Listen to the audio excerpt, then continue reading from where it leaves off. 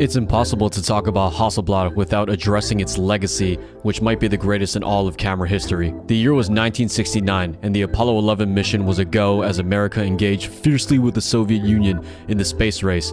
In preparation for the historic moon landing, NASA collaborated with the Swedish camera manufacturer Hasselblad to create cameras that they could take to space. Four cameras were made to launch, with one of them being the special Hasselblad data camera which was strapped to the famous astronaut Neil Armstrong. These images were taken on a special form of Kodak Ektachrome that was never actually made available to the public, but they will forever go down in history as the legacy between NASA and the camera company Hasselblad. I know that was very quick and concise, so if you want to watch a more thorough video on the story of NASA and Hasselblad, uh, go check out this link right here. A Grainydays' channel. He's a fantastic uh, film photographer, YouTuber, not only for his information, but his comedy as well, and he makes a video on this specific topic. So go check him out, and uh, you will definitely not regret it. So let me just start off by saying that the Hasselblad 500cm is such an engineering masterpiece. It is lightweight, small, compact form factor, and it's all metal. I love a full metallic film body film camera because it just feels so nice and solid in the hand. And even though this is only like a 6x6 um, square format camera, from, uh, from the Mamiya RZ67 to a 6x6, like one centimeter less on a negative and you get this smaller of a package. It could fit in my Peak Design 3 liter camera sling easily. And of course, what you saw in the beginning of this video, it is a completely modular camera. So you can swap out film backs. You can own multiple film backs. So you can have like color in one, uh, black and white in another. You could swap out the finders. I have an eye level viewfinder right here. This specific model I think is called the PM5, but of course you get a waist level viewfinder as with most medium format cameras. Uh, the lenses you could swap out. The one that I have right here is the 50 millimeter f4 and uh, I think it's a fantastic lens. It's I think the crop factor brings it to either a 35 millimeter or 28 millimeter. I totally forgot, but the I just know that the focal length is perfect for me versus the standard 80 millimeter f2.8 lens that usually comes with these. You can even swap out the ground glass inside that's used for focusing for a brighter screen. I believe the ranking of it is like the bright screen, which is the one with the crosshairs, and then a bright matte, and then acute matte and um, all of them have like different kinds of focus assist tools like micro prisms, split prisms, grids, and all this other stuff. But those things can like rack up in price really, really high, like really, really quickly. So the one that I have in here is actually like a second version of the bright screen. Uh, the person who um, I bought this off of gave me a killer deal for this. And also there were like upgrades to it that I didn't even know were on the listing and uh, it came with this uh, eye level viewfinder. I don't have the waist level viewfinder, but I actually prefer it. Uh, prefer this actually because it magnifies the image.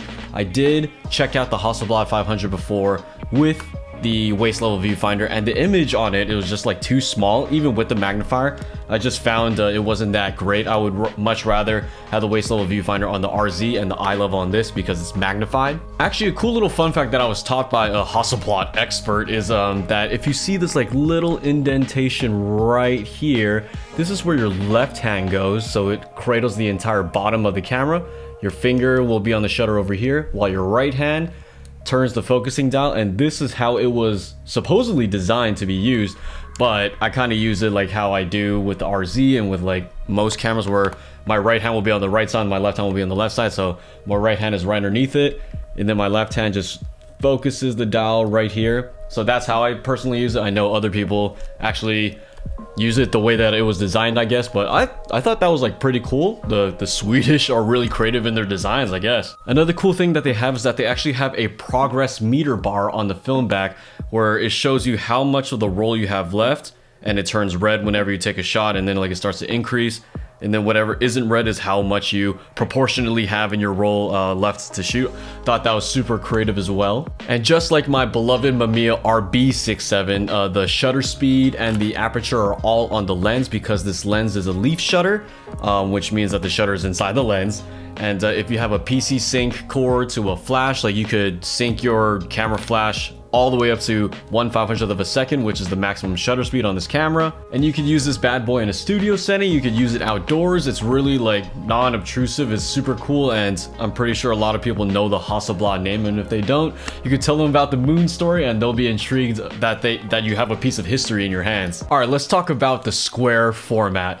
Now, I was very scared of the square format because it's not a traditional like widescreen format like 2x3 and even for a 6x7 that even has like width to it but it's not like you know all the way out. It's almost a square too, it's only one centimeter off. You still do get like a widescreen picture and there is like character to that like weird little um, framing. And you can get square formats and much cheaper options too. You can invest in TLRs like the Rolleicord, the Rolleiflex, the Mamiya C330. And it was scary for me because I was like, what if I want like a widescreen landscape type format and will, will I have to always shoot to crop? That would be such a waste of film. So a mindset that I put myself into is that like when I'm like scrolling through Spotify or when you're scrolling through Spotify or Apple Music, uh, all album artworks are square format. They're one by one.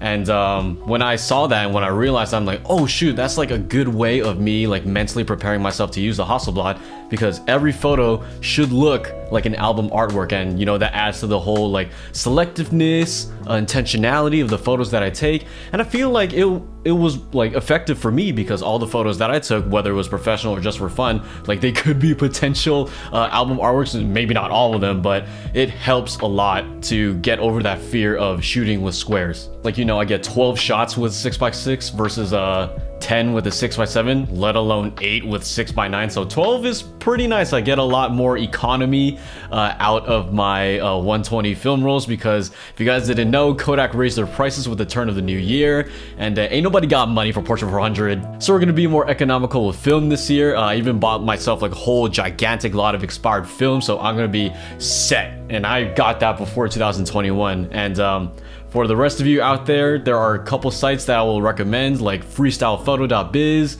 or Unique Photo. They have some good prices on uh, Kodak films or films in general. So please save yourself some money or you can you know support your local business and buy from them too. So the next thing that I want to talk about is my actual experience using this camera. I pushed about six to eight rolls through this already for professional work and casual work. No light leaks. That's always my greatest fear when I'm pushing like one to two rolls to experiment with the camera to test it. Uh, like, oh my god, are there going to be light leaks? But there are none, so that's completely fine. Focusing with this lens does take a while, and I think that might be consistent across all Hasselblad lenses. The throw is super long. I believe it might be 270 degrees. And um, I'm used to the RZ RB system, whereas bellows focusing, and that's much quicker and um, if you didn't know, like the RZ RB system, because of the bellow focusing system, you could get like a pseudo macro um, lens out of everything uh, that you put on that. So I was really afraid that the minimum focusing distance on these Hasselblad lenses would be a huge deterrent or a huge bummer, but actually like this could focus really close. I believe this is 19 inches or less, just just by a little less, and that's really close, especially for a, a 50 millimeter. And I've had no problems with it whatsoever so far. The lens is sharp, so there's no problem with that. Of course, it's made by Zeiss, so you would never ever have to worry about quality from them. And because of the form factor and the lightweightness of this camera, like it's just so easy to just throw it in a bag and uh, take it out and to have like on my um, hold fast moneymaker sling. So, I mean, this is the camera for me for professional shoots. Like I want to incorporate the RZ like for so long in my professional work, but it was like always a decision of like, I have to get my Canon, my two lenses, maybe three, rarely three. And then I have to throw the RZ in there. Like, do I have to get another lens for that too? It's just like, that's a lot of weight. And uh, when I put it on my Hold Fast Moneymaker sling, that RZ is pulling down a lot more on one side than this Hasselblad would. I will do another video comparing the Hasselblad with the RZ because I feel like a lot of people would ask like, why would you keep both of them if the only difference is like one centimeter negative? I'll explain in that future video, but thank you guys for watching this video. I love this camera and I hope you guys love it too if you ever pick one up. Uh, prices I think are remaining steady for the most part, but I was lucky enough to get this for way less uh, than what you see online. So have a good time hunting for that. Make sure you subscribe, like the video down below, and comment uh, about if you like the Hasselblad system, if you think that Hasselblad is overrated, or if you go for another camera like maybe a Mamiya C330 for square format. Thank you guys so much for watching, and I will see you guys in the next video. Peace!